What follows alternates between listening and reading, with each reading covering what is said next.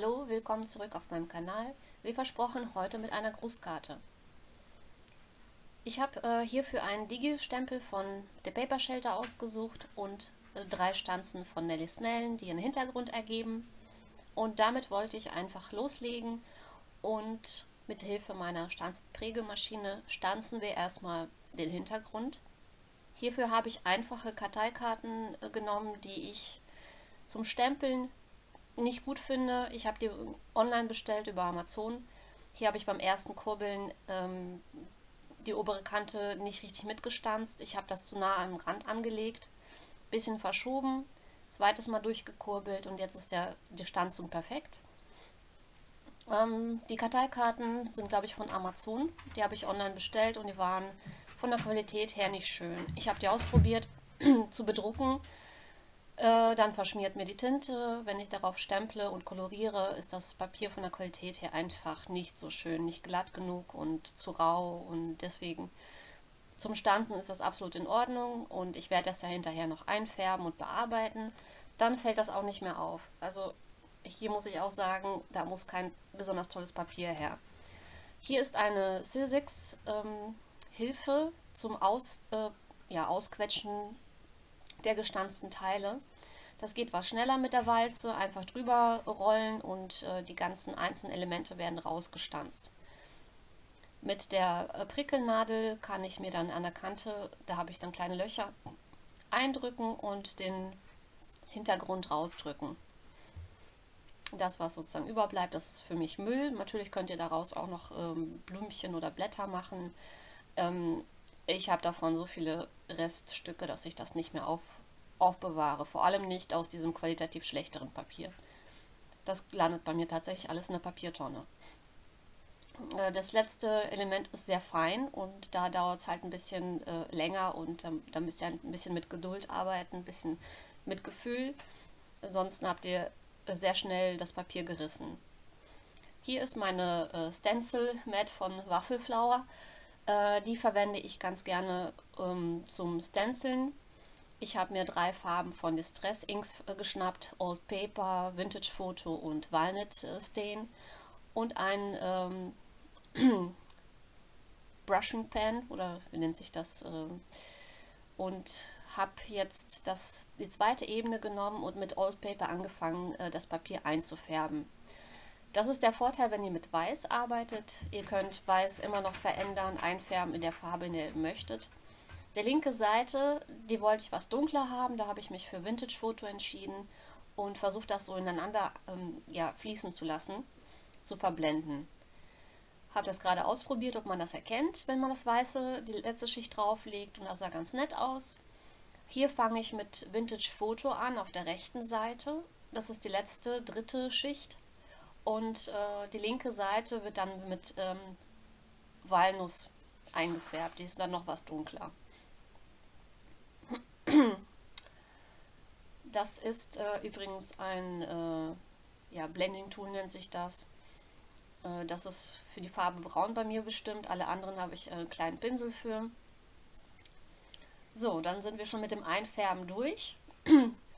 Und jetzt werden die Schichten aufeinander geklebt. Hierfür verwende ich meinen Flüssigkleber von Tonic Studio. Ähm, ihr seht, das Video ist natürlich beschleunigt. Das dauert normalerweise ein bisschen länger. Äh, ich kann mit der Spitze recht dünn den Kleber auftragen und verteile das wirklich flächig überall.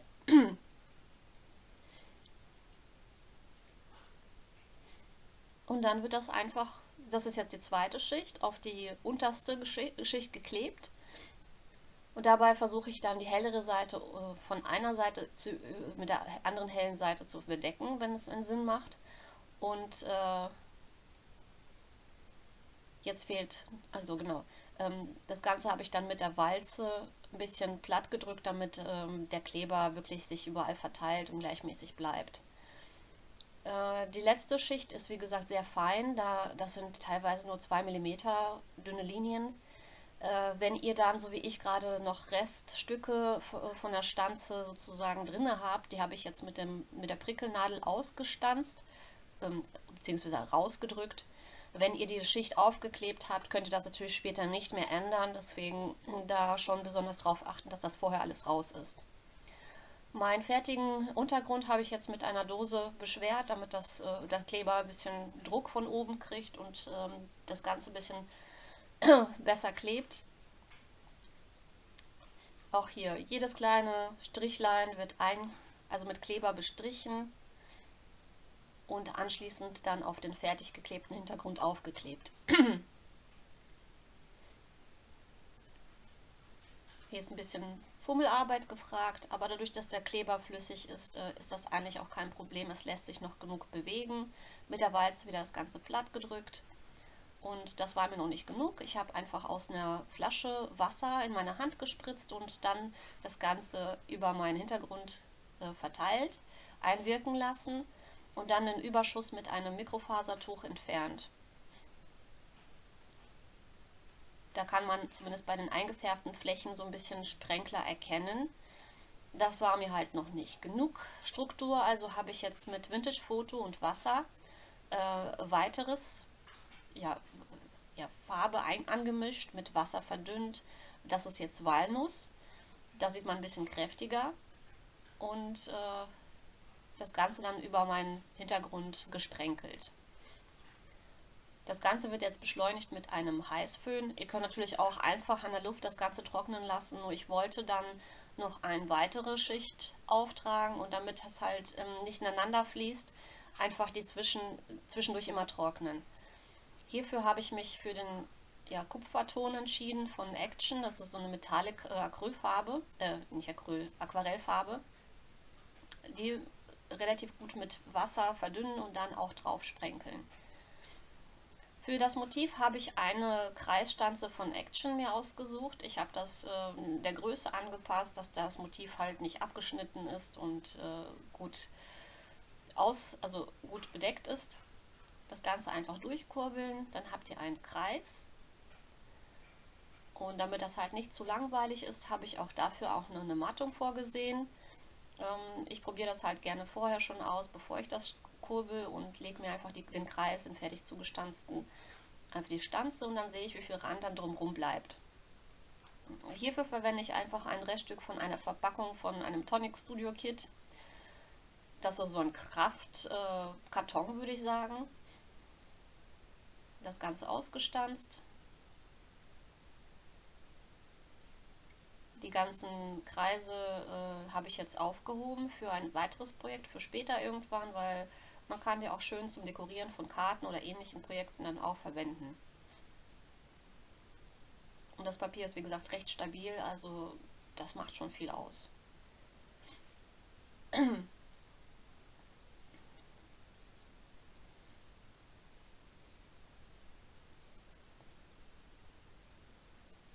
Ähm, jetzt möchte ich mir ein Kartenrolling zuschneiden.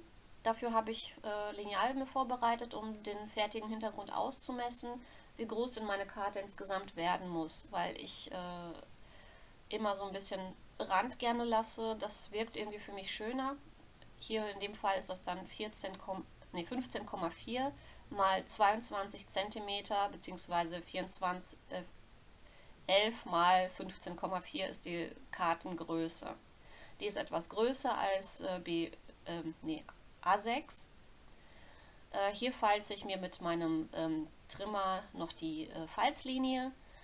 Damit ist dann halt der Übergang der Karte gerade und das kriege ich hier noch ein bisschen mit meinem Prägestift. Drücke das ein bisschen flach und schaue mir das Ganze jetzt an, wie das wirkt von der Größenaufteilung.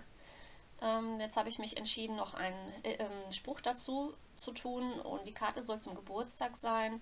Ich habe ähm, mir am Computer einfach einen Schriftzug vorbereitet. Herzlichen Glückwunsch zum Geburtstag mit genug Rand.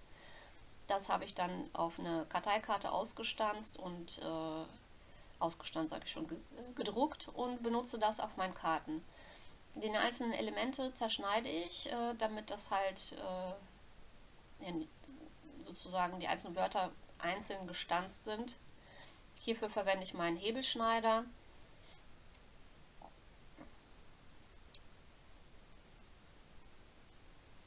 Ihr könnt natürlich sowas auch stempeln, wenn ihr die passenden Sprüche habt. Ich habe nur gemerkt, dass mir gerade die Deutschen äh, entweder zu groß sind oder einfach äh, nicht das, was ich gerne möchte. Und dann habe ich mir gedacht, also am einfachsten ist es tatsächlich dann selbst am Computer sich zu setzen und das auszudrucken, weil Drucker und Computer haben die meisten auch zu Hause.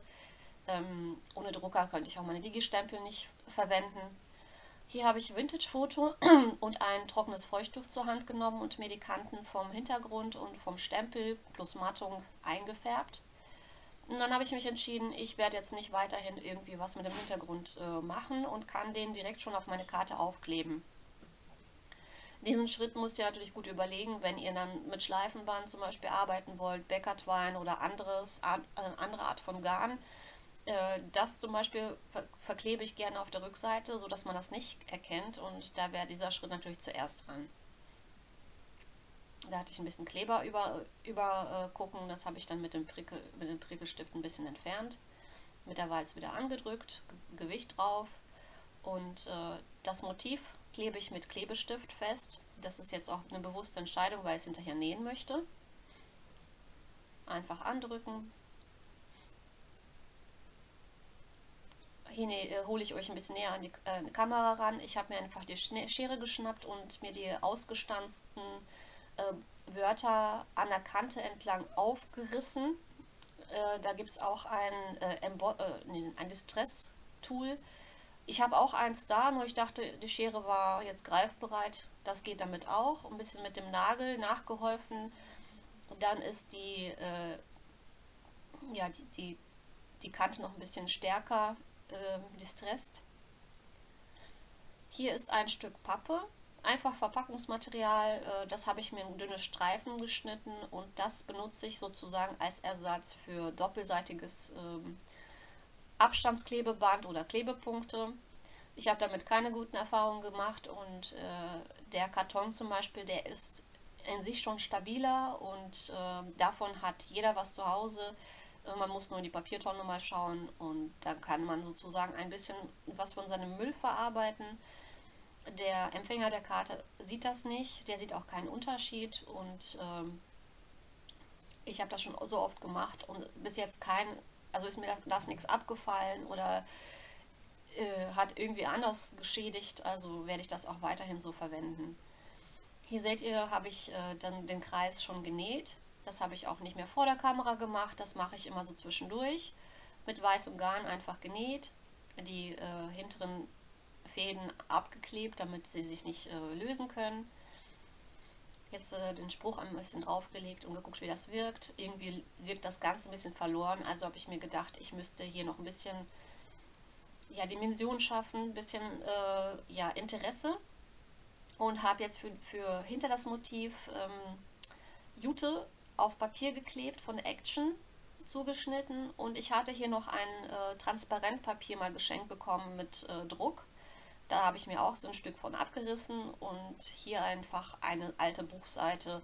Auch davon einfach ein Stück äh, rausgerissen und runtergelegt und schon hebt sich das ein bisschen vom Hintergrund ab. Natürlich müssen wir auch ein bisschen hier mit Abstand arbeiten. Auch hier ein Stück Pappe. Einfach ähm, ein Rechteck geschnitten, hinter das Motiv äh, mittig gesetzt, angedrückt und jetzt arbeite ich mich äh, hier Schicht für Schicht mit den äh, vorbereiteten Elementen und klebe sie einfach an den Seiten. Und dann müsst ihr halt gucken, was wollt ihr vorne äh, haben. Dementsprechend müsst ihr das zuerst aufkleben und äh, die anderen Elemente dann später. Hier habe ich das Transparentpapier und auch die Buchseite später mit Vintage-Foto am Rand eingefärbt, damit das Ganze ein bisschen einheitlicher wirkt und zu dem Motiv halt dann auch passt. Einfach mit Flüssigkleber so ein bisschen Kleber dran geben und an der Kante ankleben. Wie gesagt, jetzt das Vintage-Foto so ein bisschen.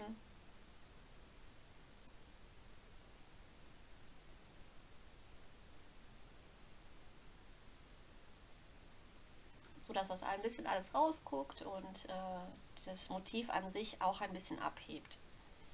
Hier wieder mit Kleber ähm, auftragen, flächig, das was halt am ehesten Kontakt zum Papier hat äh, und da dicker ist, habe ich jetzt mit, mit Kleber eingefärbt. Äh, das Transparentpapier klebt am Motiv fest.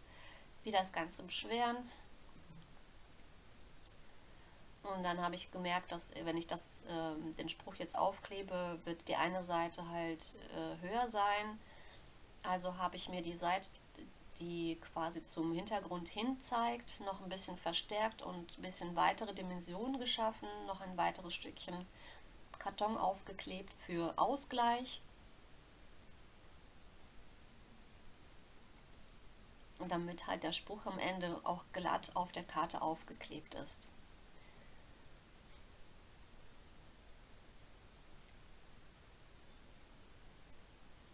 Auch hier eine zweite Ebene ähm, mit Karton.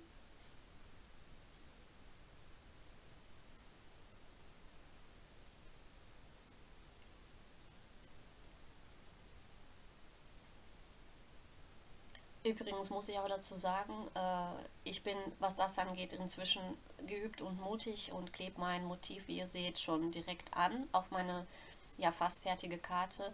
Ihr könnt das natürlich auch erst kolorieren oder ausmalen und dann aufkleben, wenn ihr sicher seid, dieses Motiv ist euch gelungen und das wollt ihr tatsächlich verwenden.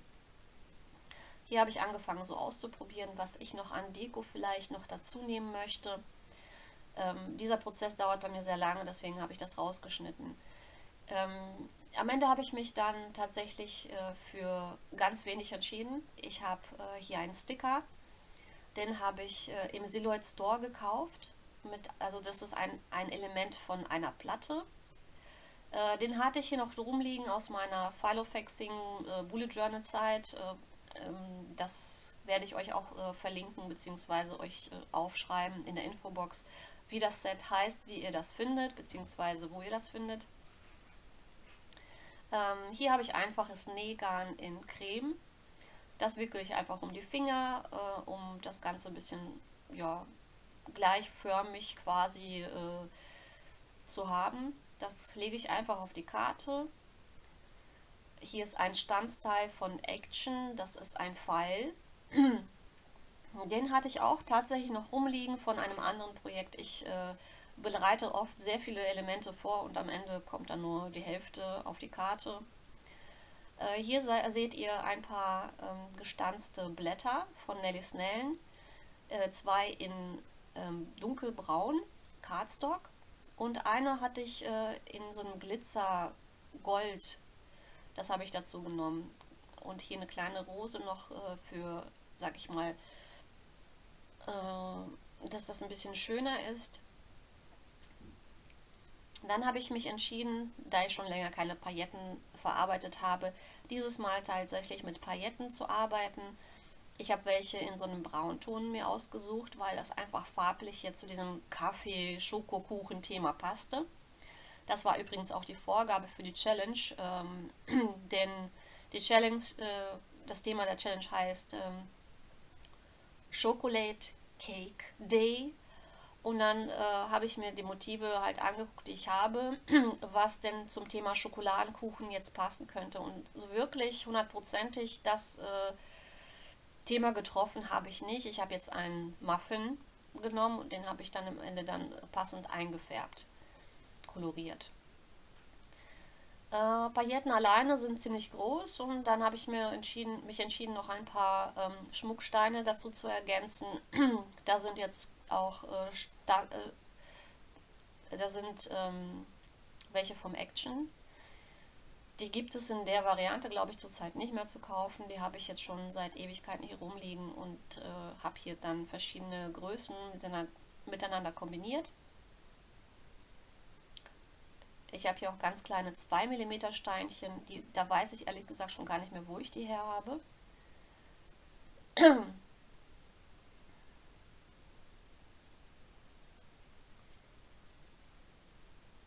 Ich probiere halt aus und dann äh, gucke ich, was kann ich denn noch ergänzen. Hier auf den Pfeil habe ich mich entschieden, noch drei kleine, äh, von den kleinsten 2 mm Steinchen noch zu setzen.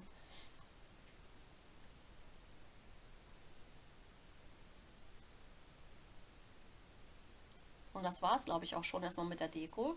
Ähm, hier, das ist äh, meine Stifteaufbewahrung für meine Aquarellstifte.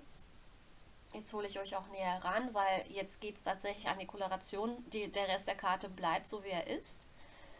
Hier habe ich einfach mit den Wangen angefangen und mit den Lippen einfach in rosa das Ganze aufgetragen. Ähm, dann habe ich mir gesagt, ich äh, brauche noch eine Horizontlinie, damit ich weiß, wo ich den Hintergrund ähm, drauf anpasse. Da habe ich einfach eine Chipkarte genommen und mir mit einem grauen ähm, Aquarellstift dann den Horizont gesetzt.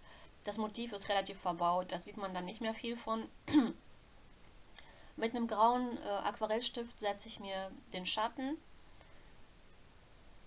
auch das ist, glaube ich, nicht wirklich sehr gut zu erkennen. So ein Hauch, ein bisschen. Hierzu muss ich sagen, ich habe meine Aquarellstifte schon bestimmt ein halbes Jahr, wenn nicht sogar länger, nicht angepackt. Und da dachte ich, es wird mal wieder an der Zeit. Im Nachhinein äh, weiß ich nicht, ob ich mit der Koloration so insgesamt zufrieden bin. Ich glaube, mit den Distress Re Inkern, das Ergebnis gefällt mir doch ein bisschen besser. Hier habe ich angefangen mit hellblau den Hintergrund dann ähm, zu, anzumalen. Ähm, ich mag es nicht, wenn die Flächen zu viel weiß haben. Das wirkt unnatürlich. Also es ist unwahrscheinlich, dass die Elfe jetzt mit ihrem Kaffeebecher irgendwo vor der weißen Wand steht und selbst da, dass da keinen Schatten wirft oder ähnliches. Deswegen grundsätzlich äh, mache ich dann überwiegend mit hellblau. Das ist dann so eine Art Himmel ich trage erst äh, quasi die erste Schicht mit den Stiften auf und äh, danach kommt das ganze Verwischen mit dem Wassertankpinsel und anschließend noch die Akzente dazu.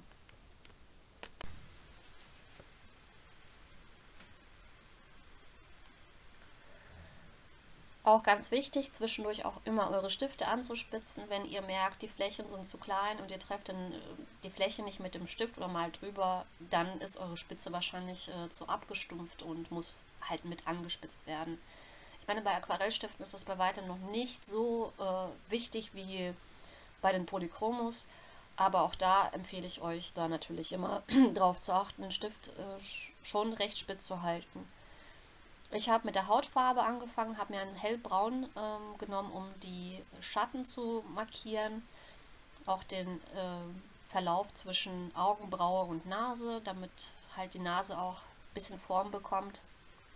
Den Rest habe ich jetzt mit einem hellen ähm, Hautton eingefärbt, aber auch da lasse ich immer weiße Flächen, wo ich denke, da fällt das Licht hin. Oder das ist erhaben und muss halt hell, heller bleiben.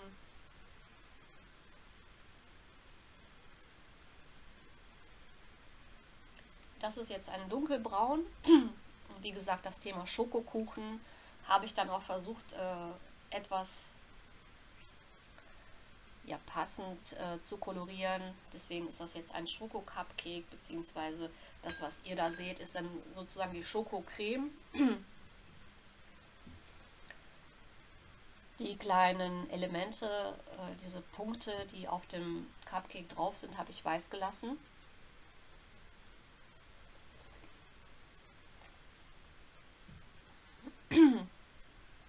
Dann habe ich mir gedacht, da das Thema ja schon so braun ist und alles monochrom aufeinander abgestimmt, dann wird meine Elfe jetzt auch braune Augen und braune Haare bekommen.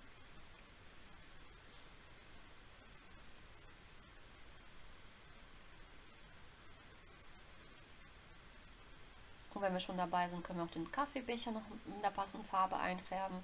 Also das ist ja auch etwas, äh, wo ich auch immer sage, Wiederholung äh, ist angenehmer fürs, fürs Auge. Das heißt, auch wenn ihr nur im Farbbereich braun bleibt, wenn ihr euch dann ein paar Stifte rausgesucht habt, dann könnt ihr auch mit diesen Stiften noch andere Flächen in diesem Motiv auswählen und einfärben. Das wirkt einfach angenehmer. Wie ihr seht, ist das Ganze alles noch ein bisschen zart und äh, hell. ihr könnt später immer Farbe hinzufügen. Deswegen empfehle ich dann wirklich mit hell anzufangen, wenn ihr zum Beispiel mit der Farbe Rot oder Schwarz arbeitet und dann direkt viel zu stark drückt. Das bekommt ihr nie wieder raus. Die hellen Töne, da könnt ihr mit dem Wasser die Farben anlösen und entfernen, falls ihr mal drüber malt oder euch dann irgendwas tatsächlich nicht gefällt. Ähm, ja, hier Farbe Rot. Genau, da habe ich dann gedacht, äh, das ist hier kein Starbucks-Becher, das wird nicht, nicht, nicht grün. Und ich habe mich von dem Sticker inspirieren lassen. Der hat ein kleines rotes Herz. Und dann habe ich mir gedacht, bevor ich noch eine weitere Farbe reinnehme, dann machen wir doch äh, den, das Label von, von dem Kaffee to go Becher auch rot. Das passt wieder farblich zusammen. Hier habe ich den Schatten mit einem dunkleren Grau noch verstärkt, weil mir das ein bisschen zu blass war. Dann habe ich hier noch die Flügel der Elfe äh, blau angefangen und ähm, dann gehe ich noch mit einem lila Pinkton an den Kanten, äh, damit sich halt die Flügel ein bisschen absetzen. Ähm, ich muss sagen, im Nachhinein finde ich das jetzt so viel Extremfarbe, sage ich mal. Ähm, es hätte ein leichtes Hauch rosa wahrscheinlich schon gereicht.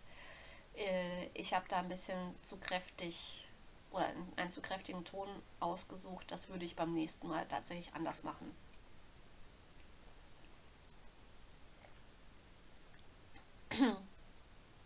Das Kleidchen von der Elfe wollte ich weiß lassen, aber weiß ist ja grundsätzlich kein Reinweiß, also müsst ihr dann halt mit einem Grauton dann so ein bisschen den Schatten andeuten, damit sich das ein bisschen abhebt und ähm, ja Fläche bekommt, ein bisschen diese Dreidimensionalität die erreicht ihr dann halt tatsächlich mit Licht und Schatten.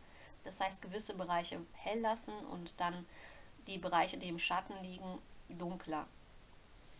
Die Brille und die Haarspange habe ich dann auch jetzt mit Rot abgesetzt. Das ist sozusagen meine Signalfarbe jetzt in diesem, äh, in, auf diesem Motiv oder auf dieser Karte. Und dann ähm, habe ich die Stifte, ja, die ich verwendet habe, hier noch teilweise auf dem Tisch liegen. Und dann habe ich mir gedacht, okay, die Strumpfhose kriegt jetzt auch so einen cremefarbenen Ton, wie der Kaffeebecher und der Hautton äh, von, von der Elfe selbst.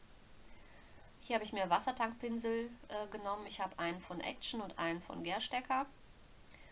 Ähm, den von Action verwende ich gerne für die größeren Flächen, weil der Pinsel auch sehr, sehr grob ist oder ähm, sehr, sehr groß der ist halt für feine oder kleine Stellen und Bereiche nicht wirklich geeignet, dann verschmiert ihr alles und äh, da müsst ihr halt wirklich euch ausprobieren.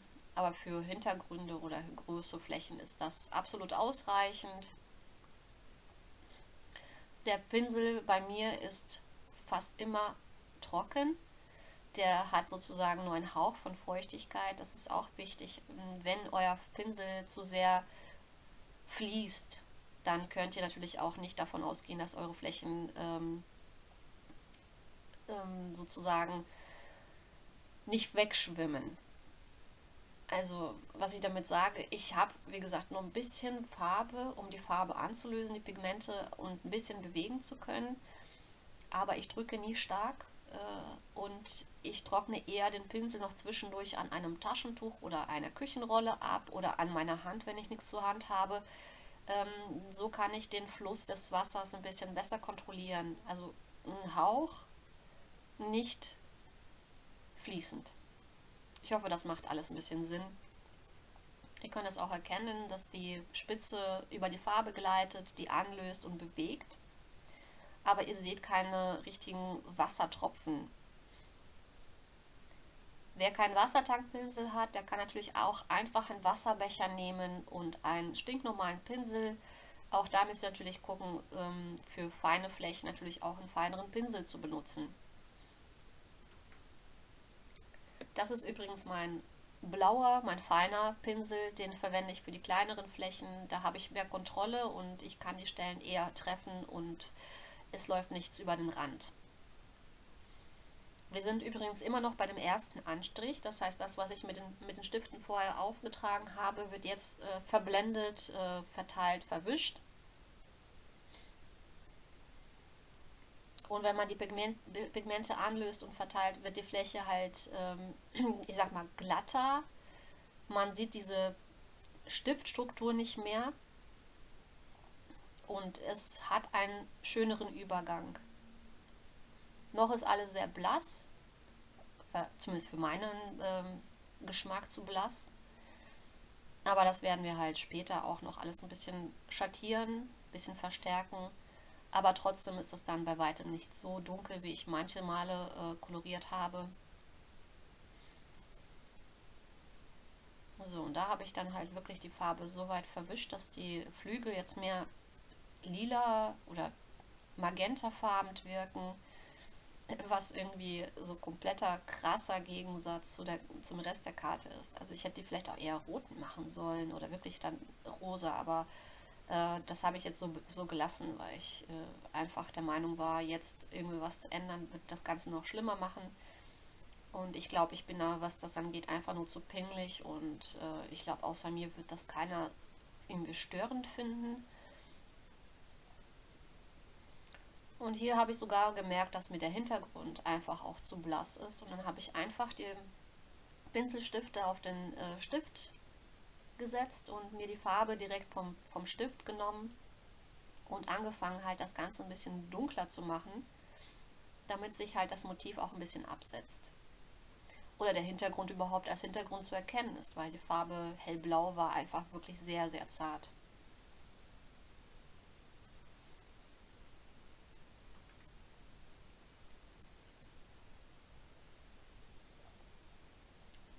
Das gleiche auch mit dem Schatten.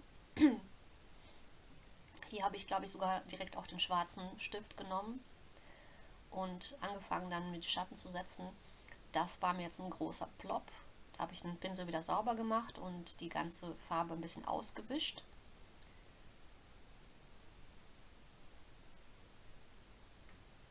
Und da, wo ich denke, dass ich Schatten habe, habe ich dann das Ganze ein bisschen verstärkt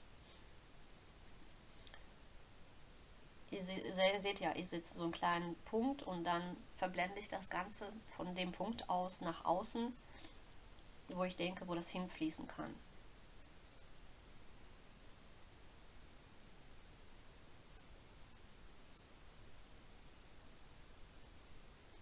Das ist so interessant zu sehen, wie schnell das auf dem Video wirkt, wie langsam ich dann eigentlich im Grunde aber dann das Motiv koloriert habe. Ich glaube, ich habe dafür alleine schon äh, 40, 45 Minuten gebraucht, bis ich dann komplett fertig war und zufrieden. Deswegen lasst euch dann jetzt hiervon nicht verwirren, so schnell koloriere ich tatsächlich nicht. Wäre schön, wenn so wäre, aber nein. Hier habe ich dann gedacht, mein Cupcake hat irgendwie zu wenig Struktur, also habe ich dann mit Braun ein bisschen äh, ja, Farbe noch hinzugefügt. Auch den Becher, da seht ihr, Spitze, Farbe aufnehmen, verteilen. So verfahre ich eigentlich so im letzten Schritt, wenn ich dann schattiere oder Farbe ergänze, wo ich denke, da muss noch ein bisschen mehr hin.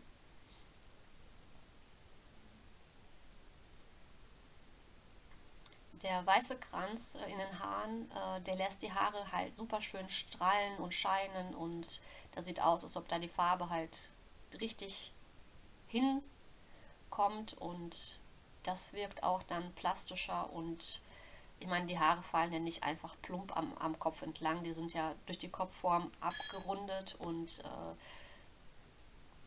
das habe ich mir halt, ich denke mal, aus dem Anime-Bereich abgeschaut. Das mache ich schon seitdem ich 13 bin. Da haben meine Figuren halt alle also einen äh, hellen Kranz.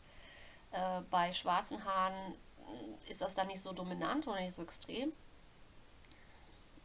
Aber bei braunen Haaren, man kann natürlich auch helleres Braun verwenden, anstatt weiß lassen. Ich mag meine weißen Flächen und äh, das wird auch so bleiben.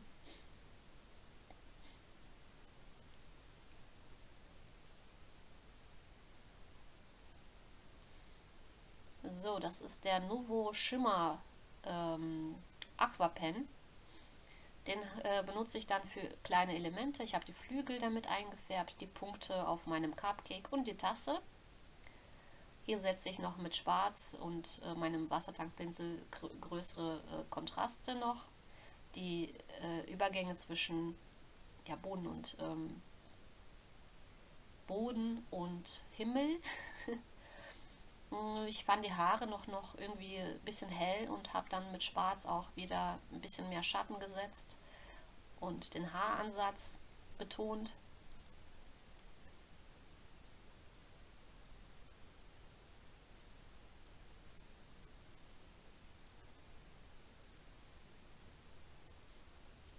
Hier habe ich einen schwarzen Fineliner von Action. Damit setze ich mir die Augen ein bisschen dunkler und äh, für die weißen Punkte nehme ich meinen Uniball ähm, weißen Gelstift. Und hier ist das ähm, Glossy Accent. Das habe ich für die Brille verwendet und auch äh, für das Herz. So, das war's auch schon. Ich würde sagen, wir sehen uns beim nächsten Video wieder. Bis dann. Tschüss.